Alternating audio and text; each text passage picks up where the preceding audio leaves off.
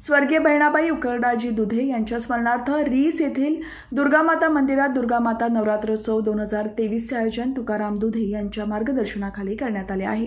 यंदाच्या या तेविसाव्या वर्षी आयोजित कार्यक्रमाला पंचक्रोशीतून उत्स्फूर्त प्रतिसाद मिळत असून दररोज हजार ते बाराशे भक्तगण भेट देत आहे त्यानुसार भाजपचे मावळ लोकसभा निवडणूक प्रमुख आमदार प्रशांत ठाकूर आणि पनवेल महापालिकेचे माजी सभागृह नेते परेश ठाकूर यांनीही शनिवारी दुर्गामाता नवरात्रोत्सवाला भेट देऊन देवीचे दर्शन घेतले.